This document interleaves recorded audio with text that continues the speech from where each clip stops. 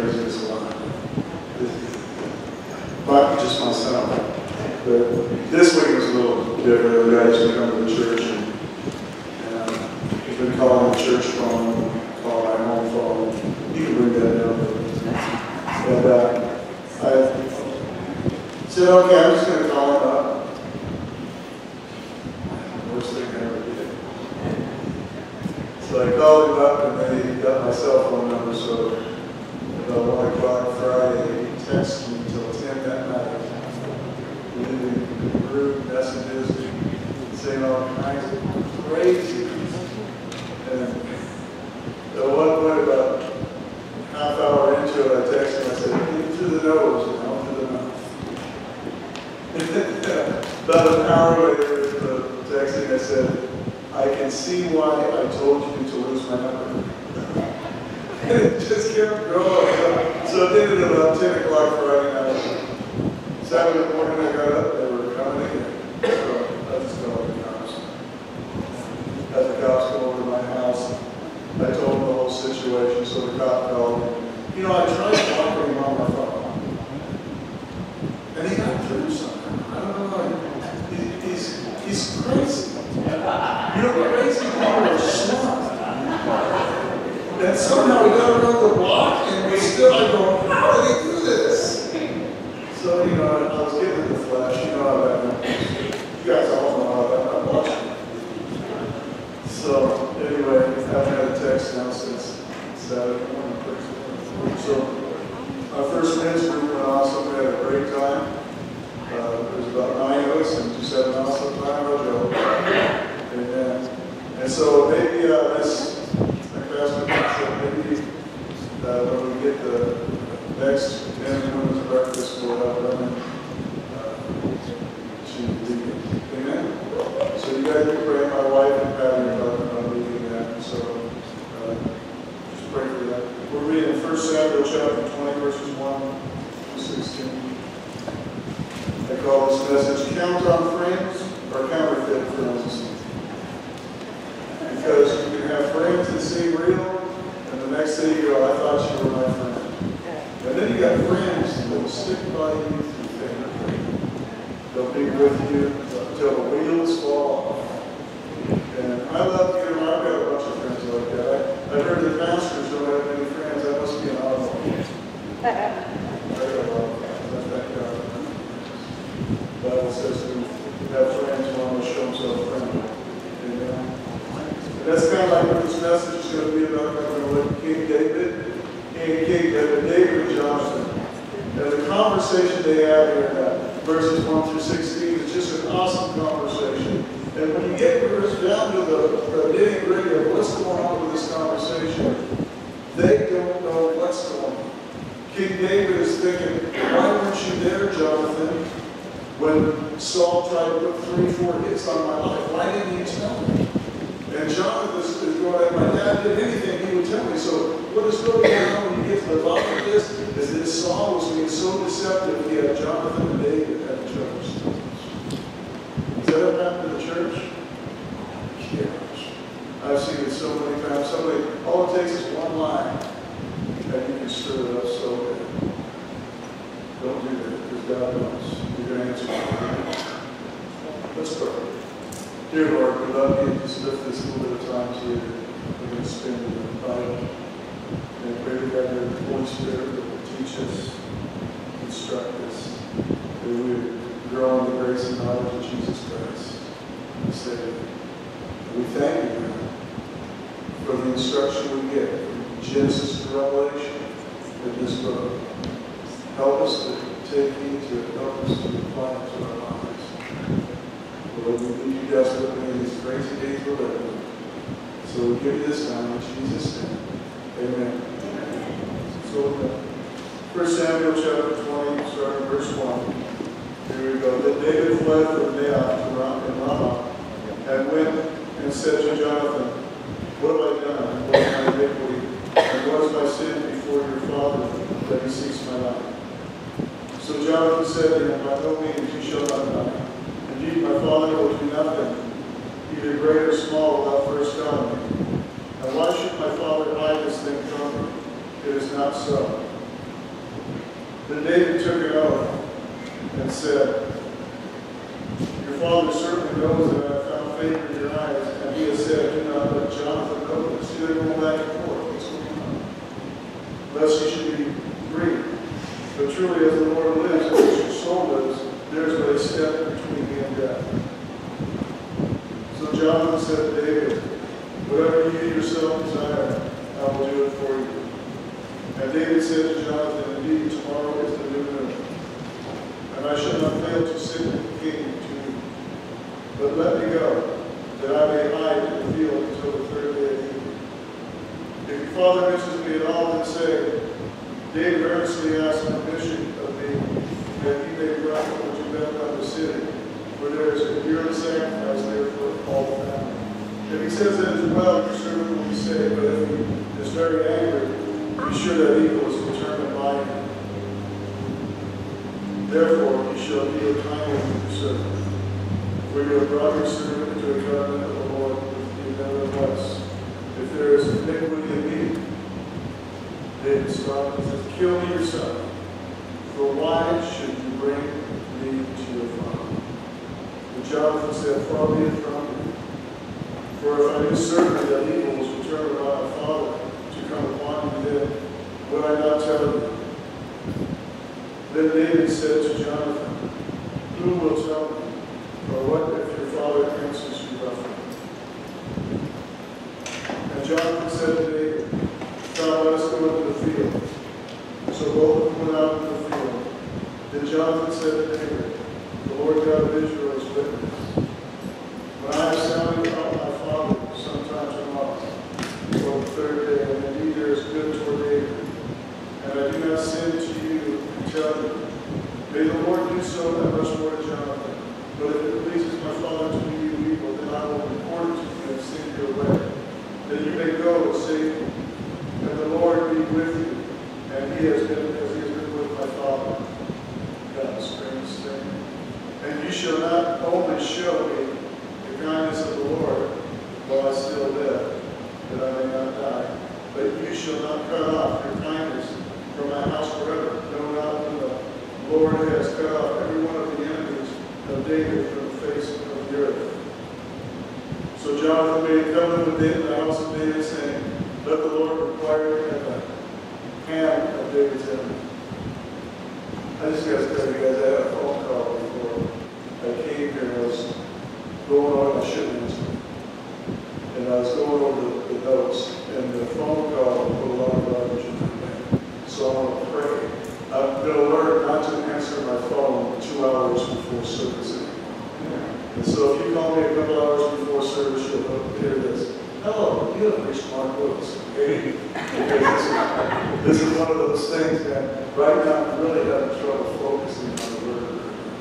And I mean, I'm reading and I'm thinking about the stuff that's see. So let me pray, pray for me right now, guys. Father, we love you, and I just pray Lord, you put my mind. Help me, Lord, not to work with the enemy, Father, that I can I give your word right now and not think about what that person was uh, telling me on the phone. So, Father God, I just pray, clear my mind, let the Holy Spirit uh, just clear my mind and focus on nothing but 1 Samuel chapter 20, verses 1 through 16. In Jesus' name, amen. So David leaves the safety of Samuel. You remember right before that David ran to Samuel in Ramah. And he ran there to get safety. Saul had sent three people, and Saul came himself to try and kill David. Now David leaves the safety of that to go find his friend Jonathan. Friends sometimes are hard to come by. Remember that movie Tombstone?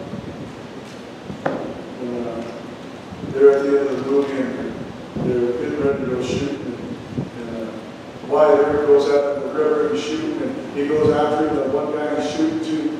and the, the one guy, why did you do that? He goes, because Wyatt's my friend. It was Doc Holliday. And the other guy goes, I got lots of friends. And Doc Holliday goes, well, I don't. And you know, to find friends, you must be friendly. And a true friend is hard to find. These two guys here were true friends. They loved each other. That's why what's hurting David so much, he risked his life to go out of safety of Samuel to go find Jonathan, his friend, to find out why he would tell him that Saul was coming to kill him. Why wouldn't you do that? You know, friendship in the dictionary defines a friend as one attached to another by mutual affection and esteem. These guys have mutual affection towards God and each other. They both love God, they both love each other as brothers. And that's why David, you know, in the church, it will bother you so much when somebody backstabs you. As a born-again Christian, when I found out, find out another born-again Christian is stabbing me in the back, hurts. I would rather fist fight, wouldn't you? I could take a black eye on a lot. I see my nephew here last week with two black eyes. Just smile and let them go.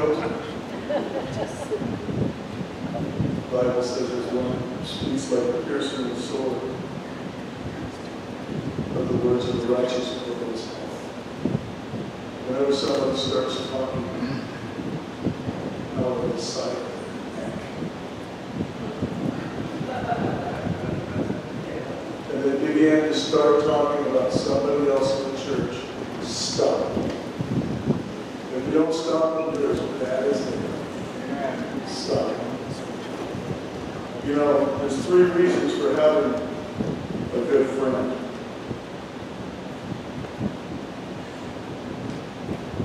One is because two are better than one.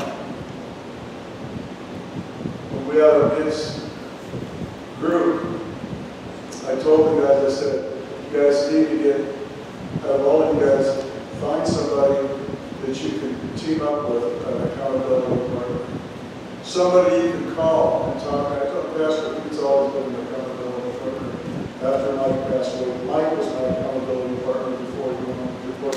You know, he was such an accountability partner to me that for months after he's in heaven, I pulled out my phone and I pull it out, and I get ready to call, I go, oh, that's I'll tell you, man, it's, it's so important to have somebody, and not just anybody, somebody that is a true friend, that won't go black to everybody. If you're going through a hard time or if you stumble, because who else stumbled? Who hasn't stumbled this week? Don't raise your hand and make you a liar.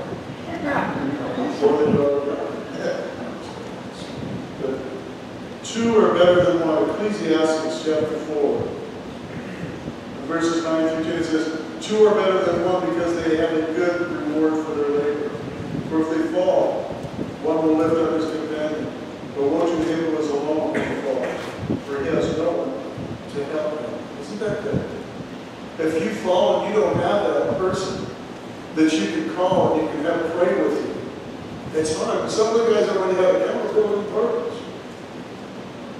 But it's so important have friends. That's what King David, when King David and Jonathan, they were, you know, if you go to the valley, they would be homeboys. Right? If you were, you know, a hillbilly, they'd be buddies. Right? You know, whatever you want to call it, they were friends. They were friends, they loved each other. The second reason is because we can sharpen each other. Proverbs 27, 17, 17 says, As iron sharpens iron, so a friend sharpens his friend. What does that mean? That means when I start getting out of line, my friend's going to let me know. And that's important. If I see my friend get out of line, I'm going to let them know. And I'm going to do it in love. I'm going to try and help them. I'm going to sit down calmly and talk with them and let them know, man, you're getting out like a jerk. Or I've seen you looking at these girls all the time. What are you doing, dude? You know? Unless it's your wife, that ain't good. I can look at my wife all I want. God understands. I can look at my wife. Any other woman?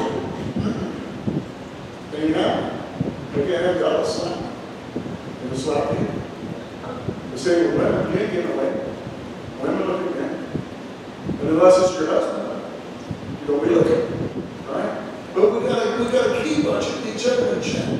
It's so important that iron sharpens iron. I love it when a brother calls me and gives me the word.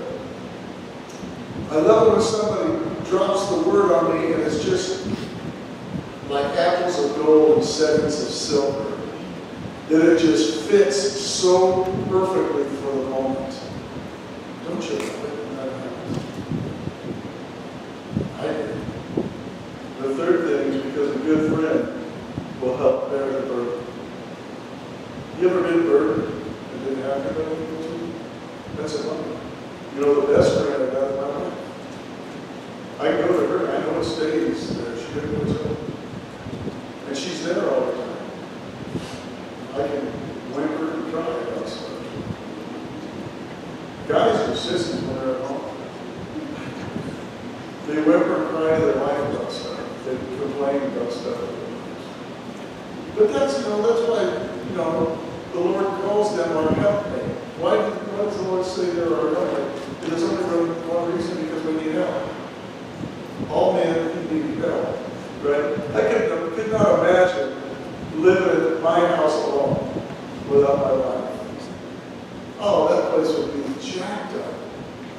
I would probably forget to pay the house payment. She doesn't she forget to pay the utilities. But you know, it's so good to have that person to help you. But let me tell you something. It's so important too to choose your friends wisely. If you're going to pick somebody for a friend, I had friends before I got saved that I thought were my friends. And after I got saved, about six months into my walk with the Lord, they weren't there no more because they weren't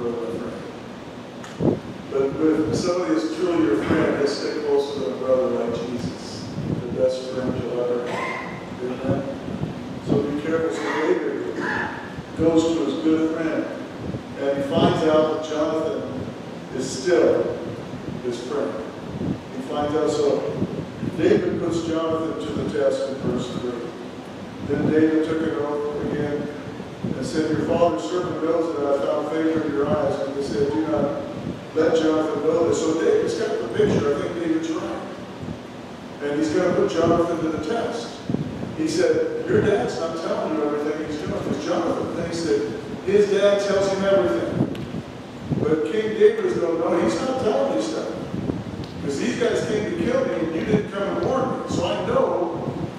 tell you. He says, do not let Jonathan know this. That's what David's going, your dad told his servants, don't let Jonathan know, lest he be grieved.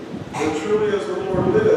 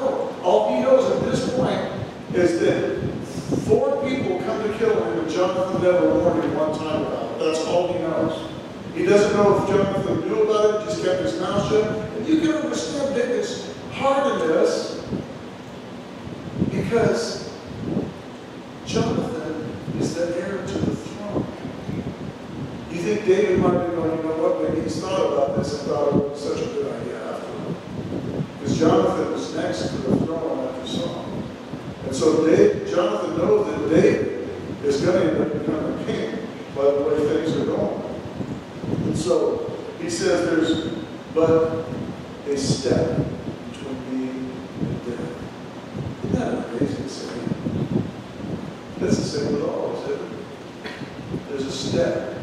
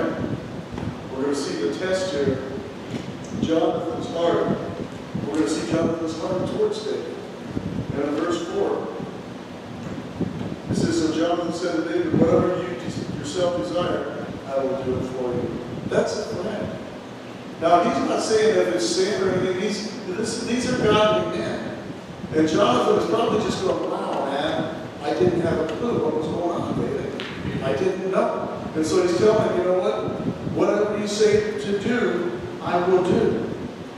And so verse 5, David said to Jonathan, Indeed, tomorrow is the new moon. Now, the new moon is a festival, and this is a festival for a sin offering. So in the midst of all this, Saul trying to kill David and everything, there's this festival, and David never missed this festival because it was a sin offering. So he should have been there for that, but he couldn't be. And so kind of interesting that it's a sin offering right in the middle of this. And Saul just ignores it. Boy, what a hard part that he would just ignore that this is all uh, happening right at the time that there's going to be a sin offering. So David basically asked Jonathan to cover for him. He's going to see what Jonathan going to do here. He's going to see. So it says, and David said to Jonathan, verse 5, Indeed, tomorrow's the new moon, and I should not fail to sit with the king to eat, but let me go, that I may hide the field until the third day. If your father misses me at all, and said, David personally asked permission of me that he may run over to Bethlehem, his city, for there is a yearly sacrifice there for all the family. And so we see that David is making an excuse not to be there. You could say it's a lie. David is not a right? And so he's, he's telling him, make this up and tell Saul that I'm not going to be there because I'm going to Bethlehem for this, to be with my family. He wasn't doing any of that. David is, because his back's against the wall now, he's really trying to work deals here. And he's also trying to see how faithful Jonathan is. He's trying to see how faithful. So, you know, when you think about maybe because Jonathan didn't warn David about the attack on his mind, that, that they, maybe that's the reason, the reason David's doing this right now. Saying, go do this. And he's seeing that Jonathan is going to be faithful.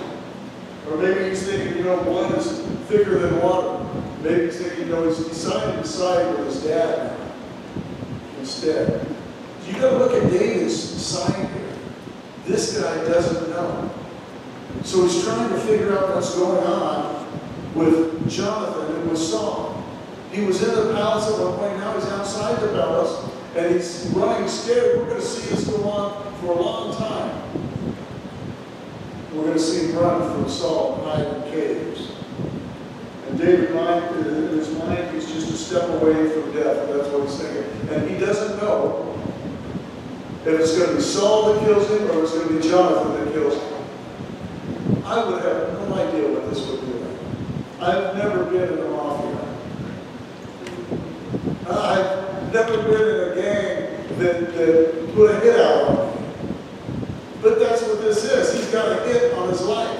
And now he's working with the son. He's going, is this the guy that's going to do it? Is he going to go look at verse 9 through 11? Or, or the end of verse 8, look, he says, Nevertheless, if there's iniquity in me, listen to what he says, kill me yourself, for why should you bring me to your father? He's, what is he thinking? David's going, one of you guys are out to get me. I don't know which one it is. One of you guys. You know, it's terrible this happens with friends. And all of a sudden, you know, that he said, she said thing. Whenever that happens in the church, I hate that. I hate it when gossip starts flying. And you know, I've been in quite a few churches, and you know what? Every one of them had it.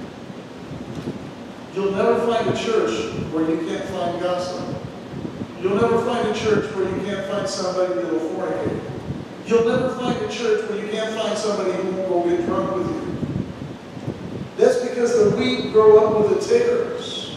They're all together. But as wheat, we are the ones that are to tell them, stop it. Right? And that's what David's trying to get to the bottom of this thing. I feel so sorry for him because he's completely in the dark as to what Saul is doing. It is all Saul. Every bit of it is Saul. He's the one that's doing it. He's the one playing games. He's the one that's manipulating. Now he's hiding stuff from his son. His son is going, oh, my dad will tell me everything that's going on. Well, he won't. Your dad's a snake. You know, so poor David, he's trying to figure this thing out. So verse 9 says, But Jonathan said, Far be it from you. For if I knew certainly that evil was determined by my father to come upon you, then would I, I not tell you? Now Jonathan was pouring his heart out David. Then David said to Jonathan, Who will tell me? Or what if your father answers you roughly? And Jonathan said to David, Come, let us go out into the field. So both of them went out into the field. You know, it's like today, man. If you're doing something like this, you think a you know, somebody's got a bug somewhere, you know what I mean? Uh, somebody's got a little thing listening to everything you're saying, you know, like they did with Donald Trump, you know, the Obama administration wiretapped this thing or whatever. And all this craziness going on. And so then Jonathan goes, because they're around, you know, there's probably people around, he goes, let's go out in the middle of the field, that can see all the way around And then they, they finish the conversation. Because at this point, Jonathan and David are going to make a plan to find out if it's really Saul that's after David, or if it's Jonathan and Saul, because David wants to find out what's going on. And you know, these, these verses, we're going to see the comfort of a friend, the kindness of a friend, the, the true friend, what they do. That they'll do all they can to try and help a person through. And that's what I like to, I like to be around people that, that are true friends. When, when you're going through you know, the, the, the times of uh, trouble, the times of anxiety, the times when you're just beat up for the fear, that you have a friend that would come alongside of you, and if you happen to say a word because you're so upset, they would go, gosh, I thought you were a Christian. You know, so many Christians are like Job's friends. You know, it's like Job was a righteous man, and all he kept trying to do was find fault. Yeah. Jonathan is a true friend. He's a guy that comes alongside of David. He tries to walk through this thing with him to bring him back to the presence of God and to comfort him and help him through it. That's the way we need to be with each other. We don't, don't need to be like Abel. Remember Abel after he killed his brother, he said, what am I, my brother's keeper? And so many Christians are that way today. Am I my brother's keeper? Yes, you are. We're each other's keeper. We need to watch out for each other. And look at Jonathan. He used to tell David. He said, Jonathan said to David, the Lord God of Israel is witness. Now that's strong. He says, God is my witness. And he says, when I have sounded or searched out my father sometime tomorrow or the third day, and indeed there is good toward David, and I do not sin to you and tell you, may the Lord do so and much more to Jonathan. But if it pleases my father to do evil, then I will report to you and send you away, that you may go in safety. And the Lord be with you as he has been with my father. And he says as the Lord has been with Saul, the Lord was with Saul. Saul was the one that was running from God. Remember, the Lord sent Saul to that worship service last week to try and reach Saul. So the Lord was with Saul.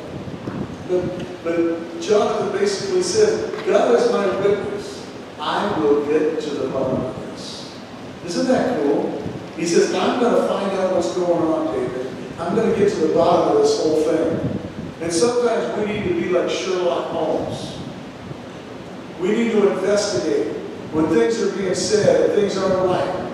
And somebody says to you, you know, hear that? Oh, you know, so-and-so said, oh yeah, well, let's go talk to him. I'll never forget when a guy came to my house and he left the ranch.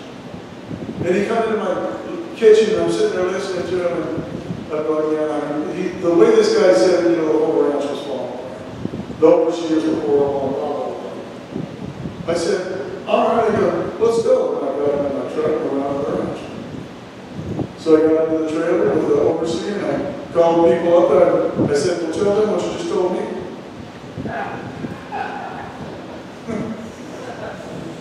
So every one of them, just the, the people on the hand, they go, you're a. You're a liar. You know, and so often that's what goes on, you gotta investigate and get to the bottom. Find out what's really going on. Usually if someone's talking out the side of their neck, guess what? If they talk out the side of their neck to you about them, they'll talk about you to anybody else. That's how it is.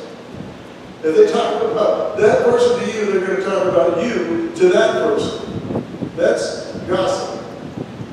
See, David wanted to get to the bottom of this whole thing and find out why somebody was trying to kill him. He had three guys come and try to kill him three different times. And then Saul comes the last one trying to kill him. And he's going, what's going on? Jonathan never even warned me. Never even warned me about this. So Jonathan encourages David in verse 13. He said, May the Lord do so and much more Jonathan. He said, Let it happen to me if I'm not trying to help you. Comfort and encouragement. You know, we find comfort in different ways, we? I find comfort at famous days.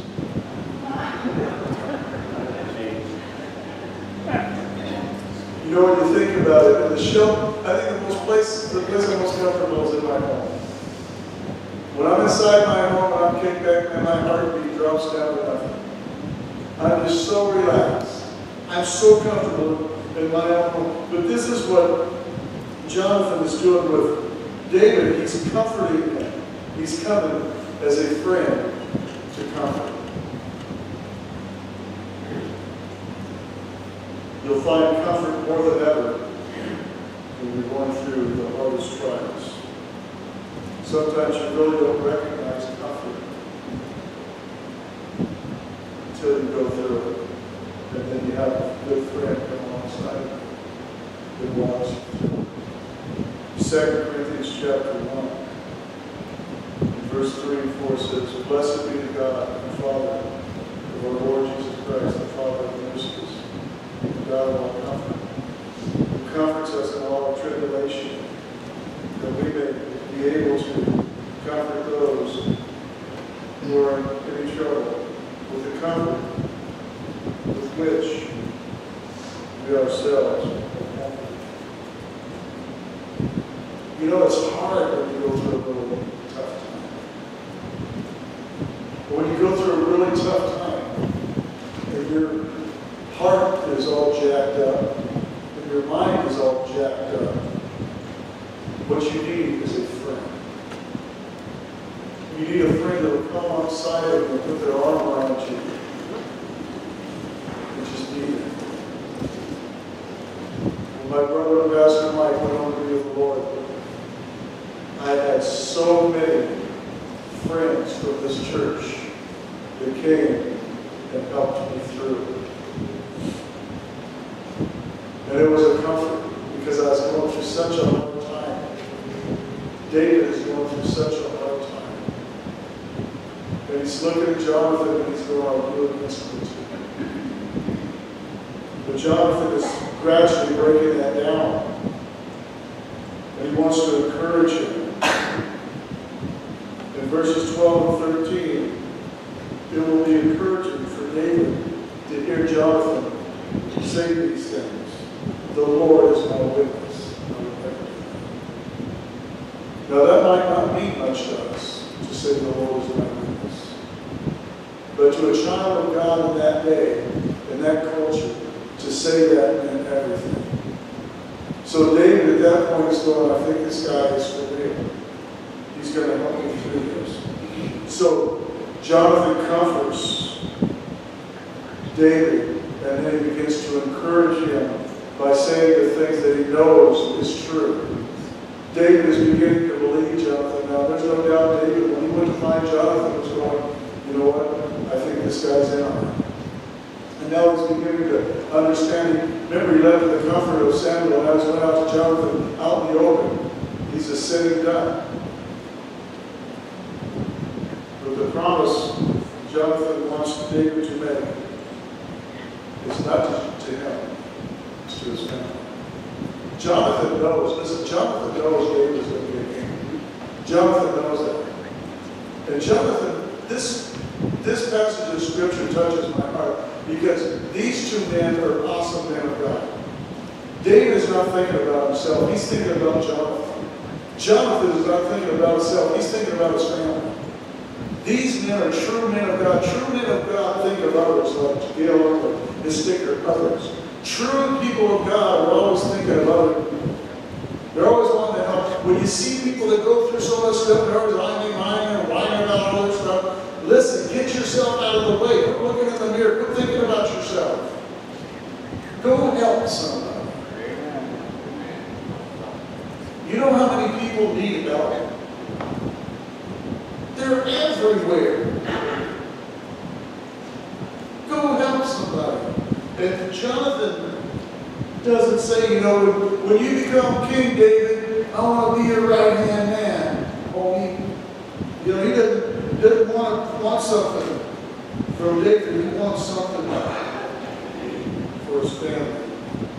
When a royal family replaced another, it was common for the new royal family to kill all the potential rulers from the old royal house. So Jonathan knows David's going to become the king. He knows it. And he knows if David was like the rest of the rulers, David could go through and kill his whole family. Get away with it. You remember Herod, the little short dude with a big attitude? He didn't kill the other family, he would kill his own family. He killed all of his boys because they were the next in line He killed, they said a pig was more safe in his house than his family. So you can understand this culture back then. They were trying to work things out, and this is Jonathan. He's not concerned about himself, he's concerned about his family. And in verse 14 it says, And you shall not only show me the kindness of the Lord while I still live, though I may not die, but you shall not cut off your kindness from my house forever. No, not when the Lord has cut off every one of the enemies of David from the face of the earth. He knows going to become king. He says, but don't cut my family out. So Jonathan, verse 16, made a covenant with the house of David, saying, Let the Lord require and the hand of David's enemies. So, did David keep his promise? Turn me to 2 Samuel, chapter 9. David is a man of God, but he was promised. Second Samuel, Samuel chapter 9. Second Samuel chapter 9, we're going to read verses 1 through 8. Remember, years before this, Jonathan, Jonathan will be dead to follow his dad in battle, and he will be executed in his dad battle. And it says, Now David said, Is there still anyone who is left of the house of Saul that I may show him kindness for Jonathan's sake? And there was a servant of the house of Saul whose name was Ziba. So when they had called him to David, the king said to him, Are you Ziba? He said, At your service. Then the king said, Is there not still someone in the house of Saul to I may show the kindness of God? And Ziba said to the king, There is a son of Jonathan whose name, who is lame in his feet. They believe he was lame because he was dropped at birth, and so he couldn't walk good. So the king, so the king said to him, Where is he? Ziba said to the king, Indeed, he is in the house of Benjar, the son of Eliel. The king David sent and brought him to the house of Benjar, the son of Eliel of Lodebar. Now when, now look, look at this guy. Now when Mephibosheth, try and say that four times real quick. Now when Mephibosheth, the son of Jonathan, why did Jonathan name him? the son of Saul, that kept him sober, huh? Because you couldn't say that name. Now when Mephibosheth, the son of Jonathan, the son of Saul came to David, he fell on his face and prostrated himself. And David said, Mephibosheth, he answered, Here is your servant. So David said, Do not fear, for I will surely show you kindness for Jonathan, your father's sake, and will restore you to the land of all the lands of Saul your grandfather. And you shall eat bread at my table he bowed himself and said, What is your servant that you should look upon such a dead God as I am? You see, Mephibosheth thought he was worthless. The point is, you got, and this is the, the picture of the whole story. Bring it, bring it home. You got two men of God who are doing the right things, walking in the right direction, loving God, loving each other, and all it took was one scoundrel to mix it all up and stir it up and almost cause death between them. And so the, the moral of the story is this. Don't allow people to come in and disturb your relationship with God and each other. Amen? Because that's what happened here. Saul tried his best, best to stop it. And we see years down the road,